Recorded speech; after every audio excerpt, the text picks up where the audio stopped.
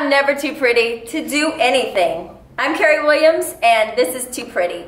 So, Too Pretty was created out of the world of boxing. I used to be a former fighter, as you might be able to tell.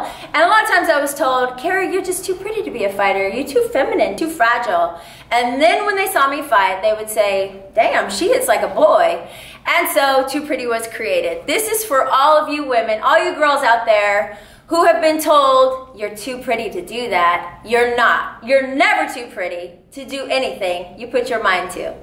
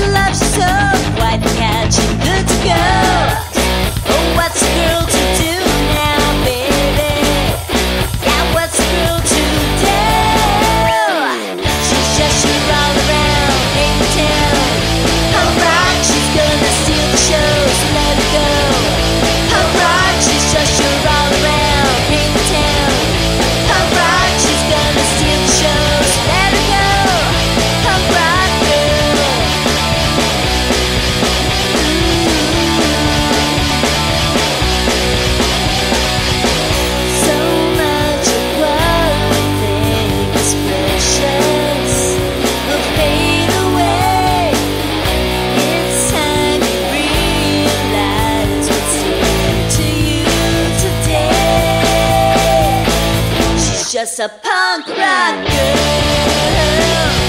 She's just a punk